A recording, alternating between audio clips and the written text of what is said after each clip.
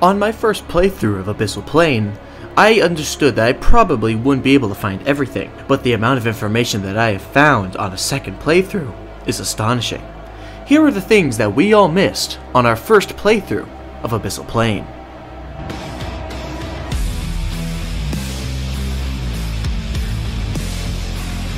Let's first talk about something that hides in plain sight. The names of the four bases found around the world. Now, the first one you discover is Lantern, and this one seems quite self evident. The base is very well lit and is a place of safety and fortitude. But right next to it, you find the base Grallator. Now, Grallator is a rather particular name. The name itself originates from the description of a common type of three-toed bipedal theropod dinosaur, and Growlithers have been dated back all the way to the early Triassic period. And what do we find at Grallator? A completely destroyed base. And what is left at the scene of the crime? A giant, dislocated, bloody tooth.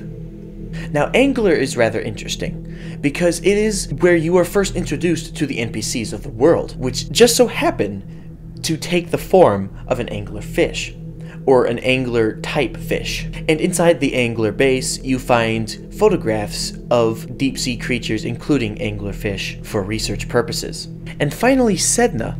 Now, Sedna is a rather interesting name because it has nothing to do with animals or deep sea creatures. Sedna is the name of the coldest and most distant object known in our solar system. And where is Sedna located in the map? The furthest and last place that you discover on your roundabout trip in the Abyssal Plain. The names have purposes, and the creator has made intelligent decisions on what those purposes are. Another piece of evidence that seemingly hides in plain sight is the little structure outside of Sedna. Once a button is clicked, a satellite dish will activate after a certain amount of time, and then, if the buttons are interacted with, multiple voice lines are heard. Custom voice lines that talk about Midas and the deep sea dives that they do. Here are the recordings that were found. Station Plan, Miguel speaking. Oh, you're one of those Abyss guys, right? Hmm. This sucks, doesn't it?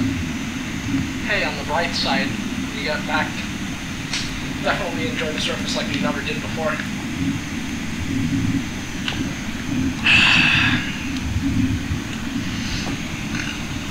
Place still gives me the creeps. Alright. You're not gonna say anything else? I'll see you on the surface. Okay.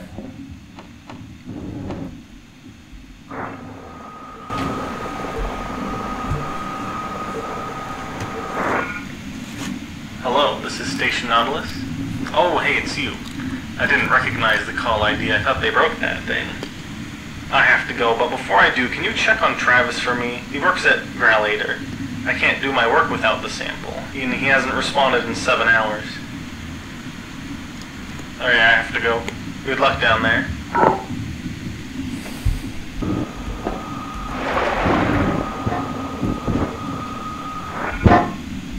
This is Station Starfish. Albert responding. Oh, this is the temporary line. Is Sedna still getting its dish done?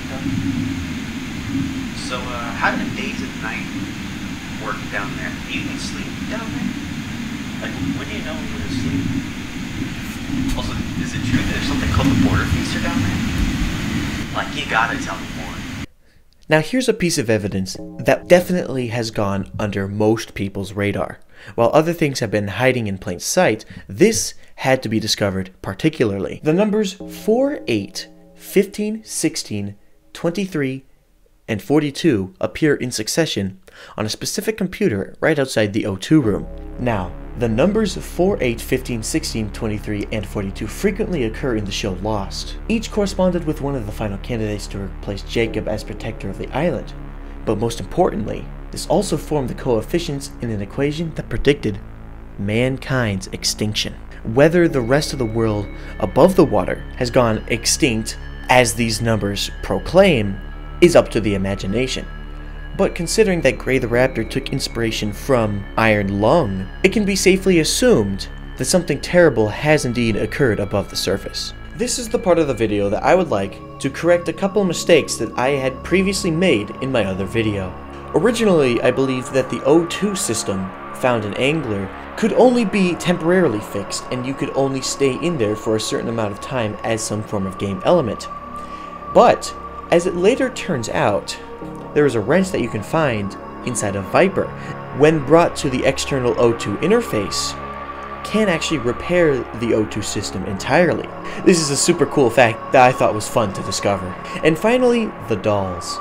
I originally thought that there was a single doll that followed you around the map because the doll mysteriously disappears from the lantern area and reappears at Angler. But as it turns out, if you take the doll with you from Lantern and put it in your submarine, if you go to Angler, you will find a separate doll with a different shirt on. There are multiple dolls found throughout the map. There is one found in Viper behind the propane tank, and one found in Sedna behind a satellite dish. Four dolls in total. Now, my original theory was that the presence that you discover at the end of the game was behind the doll's abilities. And I discovered a couple new abilities. The dolls, when inspected when holding the C key, can be lit aflame and their gravity removed.